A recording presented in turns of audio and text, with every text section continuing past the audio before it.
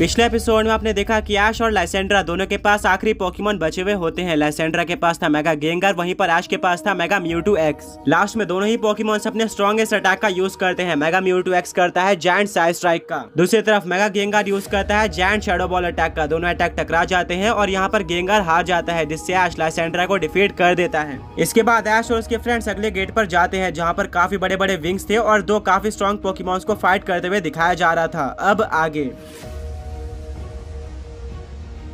मिस्टी और सरीना को लग रहा होता है कि एक फ्लाइंग टाइप चैंपियन ट्रेनर होने वाला है, वहीं पर दूसरी तरफ़। ब्रॉक बोलता है कि मुझे तो कोई और टाइपिंग लग रही है बट मैं अभी भी कंफर्म नहीं हूँ। ऐश और उसके फ्रेंड्स आगे बढ़ते हैं और काफ़ी तेज हवाएँ चल रही होती है। फाइनली ऐश और उसके फ्रेंड्स बैटल में पहुँच जाते हैं। बैटल पर्पल कलर की होती है एंड वहाँ पर एक स्टैचू होता है जो की काफ़ी ज़्यादा बड़े पोकीमोन का होता है और उसके पास विंग्स भी होते हैं।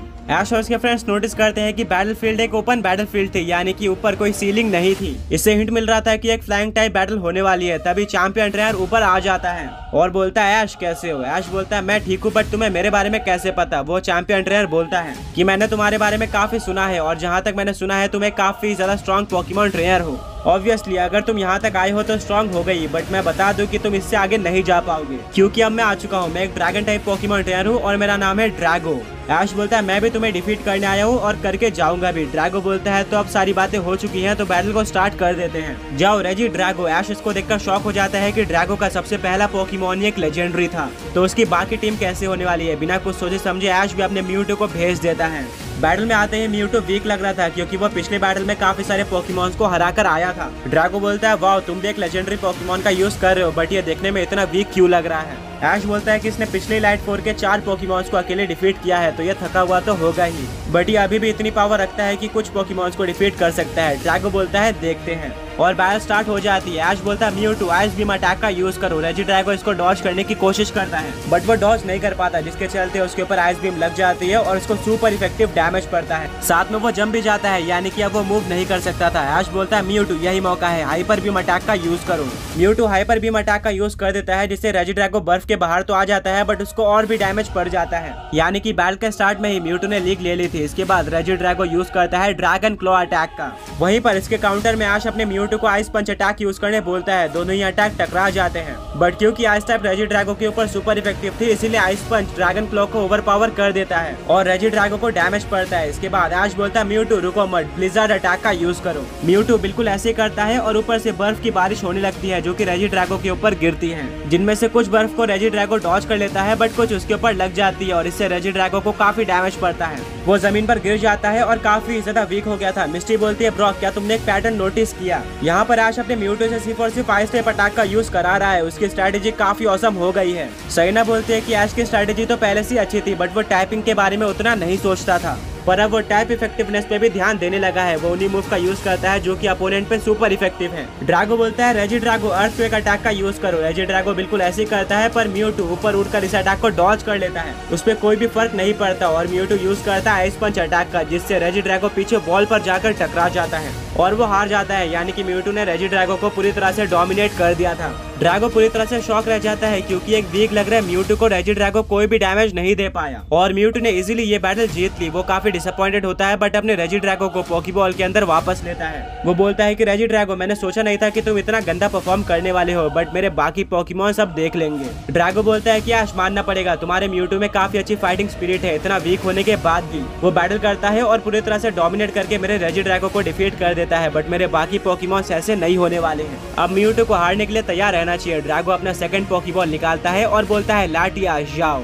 यानी कि ड्रैगो का सेकंड पॉकीमोन भी एक लेजेंडरी पॉकीमोन था। डेफिनेटली ये बैटल टफ होने वाली थी। बट ऐश बोलता है म्यूटू हम ये बैटल भी जीतने वाले हैं। अब ऐश अपने म्यूटू को आइस बीम के साथ स्टार्ट करने बोलता है। ड्रैगो बोलता है लाटियास तुम भी आइस बीम अटैक का यूज़ करो। दोनों ही अटैक टकरा जाते हैं और किसी भी पॉकीमोन को डैमेज नहीं पड़ता। इसके बाद ऐश का म्यूटू ब्लिजार्ड अटैक का यूज़ करता है। इसके काउंटर में लाटियास यूज़ करता है। लेस्टर पर्च का। लेस्टर पर्च के चलते लाटियास के सामने एक शील्ड बन जाती है, जिसके चलते वो सारे के सारे ब्लेजार्ड को डॉच कर लेता है। और लेस्टर पर्च डायरेक्टली म्यूटू के ऊपर लगता है, जिससे म्यूटू को काफ़ी ज़्यादा डैमेज पड़ता है। ऐश बोलता है, म्यूटू, क्या तुम आगे लड़ सकते हो? म्यूटू वापस खड़ा हो जाता है, यानी कि वो बैटल में कंटिन्यू कर सकता था। इसके बाद ऐश अपने म्यूटू को आइस पंच अटैक यूज़ करने बोलता है, इसके काउंटर में लाठियास यूज़ करता है। थंडर वेव अटैक का आइस पंच लाठियास के ऊपर लग जाता है और उसको काफ़ी ज़्यादा डैमेज पड़ता है। क्योंकि एक सुपर इफ़ेक्टिव अटैक था, वहीं पर दूसरी तरफ़ थंडर वेव भी म्यूटू के ऊपर लग जाता है, जिससे म्यूटू पैरालाइज हो जाता है अब ड्रैगो अपने लाठियास को ड्रैगन टाइप का सबसे स्ट्रॉन्ग अटैक यानी कि ड्रैको मीटियोर यूज़ करने बोलता है, जिससे आसमान से काफ़ी सारे मीटियोर गिरते हैं। ऐश बोलता है म्यूटू प्रोटेक्ट अटैक का यूज़ करके इन सबको डॉज कर लो। म्यूटू बिल्कुल ऐसे ही करता है बट वो किसी रीजन के चलते प्रोटेक्ट अटैक का यूज़ नहीं कर पाता है। और उसके ऊपर एक एक करके काफ़ी सारे मीटियोर गिर जाते हैं, जिससे म्यूटू को काफ़ी ज़्यादा डैमेज पड़ता है। और वो मीटियोर के नीचे दबा हुआ था। सही ना बोलते की पैरालाइज होने के चलते म्यूटू प्रोटेक्ट अटैक का यूज़ नहीं कर पाया,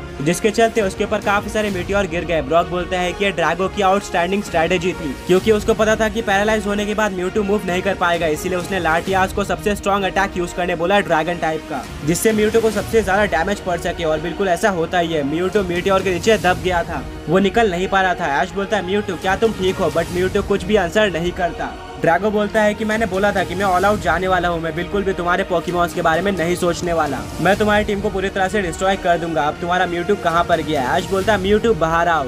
पर म्यूटू दोबारा आंसर नहीं देता है। ड्रैगो बोलता है कि लगता है तुम्हारे म्यूटू में सिर्फ़ और सिर्फ़ इतना ही दम था। तभी सारे म्यूटियोर अचानक से टूट जाते हैं और उस म्यूटियोर के कुछ पार्ट लाठियास के ऊपर लगते हैं। सभी लोग ये देखकर शौक रह जाते हैं और म्यूटू बाहर आ जाता है। ऐश खुश हो जाता है। म्यूटू ने मेगा पंच का यूज़ करके सारे म्यूटियोर तोड़ दिए थे और इसी के चलते वो बाहर आ गया था। ड्रैगो बोलता है, क्या तुम्हारा म्यूटू अभी भी फाइट कर सकता है? चलो ठीक है, हम इसको अब डिफीट करके रहेंगे।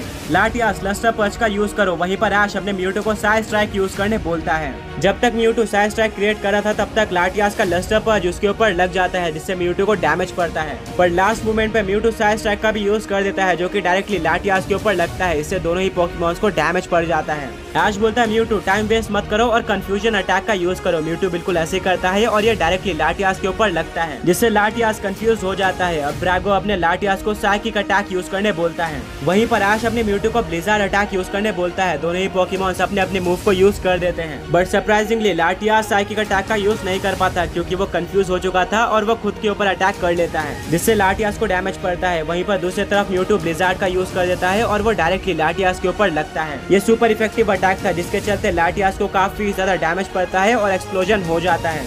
जब स्मोक हटता है तो देखने को मिलता है कि लाटियास ये बैटल हार चुका है, यानी कि म्यूटू ने एक और पोकेमोन को डिफीट कर दिया है। ड्रैगो डिसअपॉइंटेड हो जाता है, वहीं पर ऐश अपने म्यूटू के परफॉर्मेंस को लेकर काफ़ी खुश होता है।